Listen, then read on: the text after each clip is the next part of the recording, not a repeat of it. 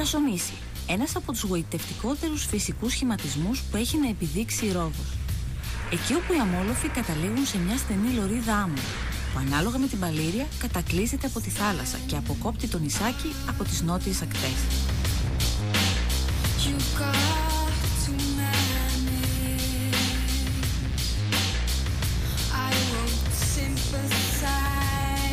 Το καλοκαίρι η εικόνα που παρουσιάζει γνωστή. Χιλιάδες τουρίστες και σέρφερς απολαμβάνουν τα κύματα.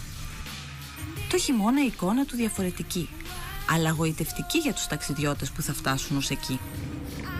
Αυτή τη φορά διασχίσαμε τη Λουρονισίδα και βρεθήκαμε στην άλλη πλευρά του νησιού για να ανακαλύψουμε το φάρο, ένα από τους καλύτερα διατηρητέους σήμερα.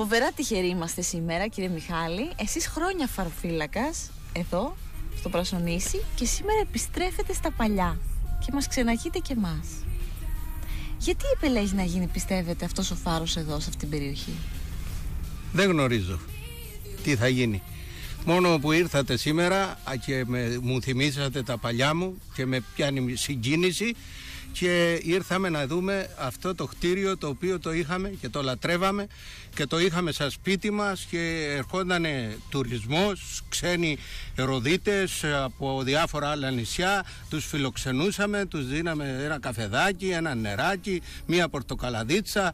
Οι πορτοκαλαδίτσες εκείνα τα χρόνια ήταν οι, αυτές με το, οι γλυκές και βάζαμε λίγη πορτοκαλάδα και λίγο νεράκι και μας λέγανε ευχαριστώ, οι τουρίστες δεν ξέραν να μας πούνε ευχαριστώ, μας κάνανε έτσι τα χέρια τους.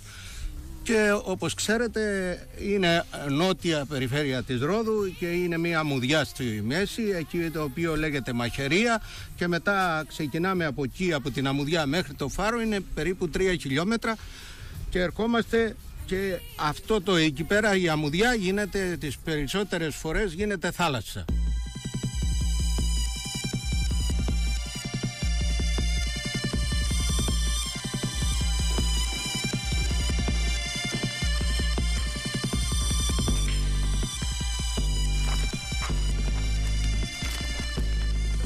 Παλιός συνάδελφος. Έλα, με μου, καλά. Καλά. Μια χαρούλα. Καλά. Εσείς, πώς σου φάνηκε εδώ πέρα ο τόπος; Ωραία. Ωραία. Ωραία να περάσεις, Γιούκο. What's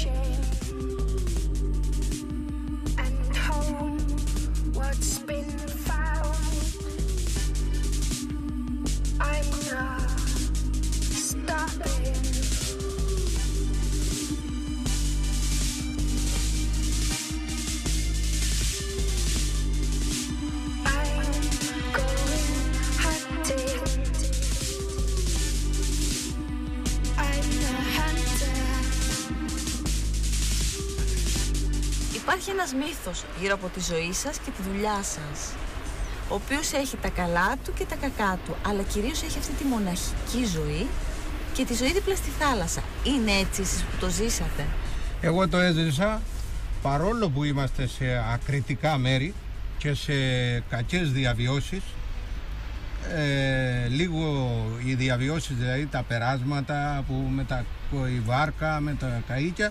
Πάλι εγώ τα έβλεπα ότι ήταν ωραία και ευχάριστη ζωή. Και όταν ήσουν καλός και είσαι και καλούς συναδέρφους το έκανες και πολύ ωραίο το, το έβαζες το μαγνητόφωνο, έβαζες το ράδιο ε, τραγουδούσες, ε, ψάρευες αυτό. Ε, εγώ το νομίζω ότι και τα κακά φανάρια που πήγα που ήταν σε κακή διαβίωση ότι πέρασα πολύ ωραία. Και ευχάριστα ε, βέβαια λίγο μονότονα βέβαια λίγο ας πούμε μοναξιά αλλά ερχόταν κόσμος εδώ πέρα. Πάρα πολλοί κόσμος και τουρισμός και από τα χωριά ψαροντουβεκάδες αυτά δεν ε, πέρασα κακά εγώ εδώ πέρα. Είχα φίλους πολλούς πάρα πολλούς φίλους ερχόντανε, μας φωνάζανε από κάτω, από εκεί, από τη θάλασσα. Γεια σου Μιχάλη, γεια σου ρε καπετά Μιχάλη.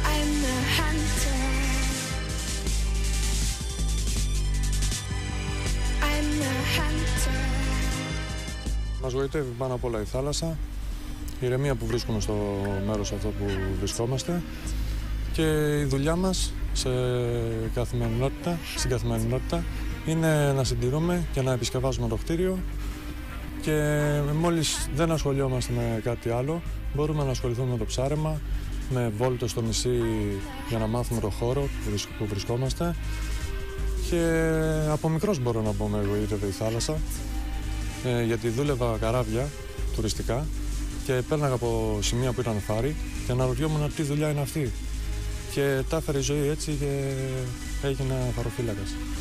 Οπότε ένα όνειρό μου πραγματοποιήθηκε.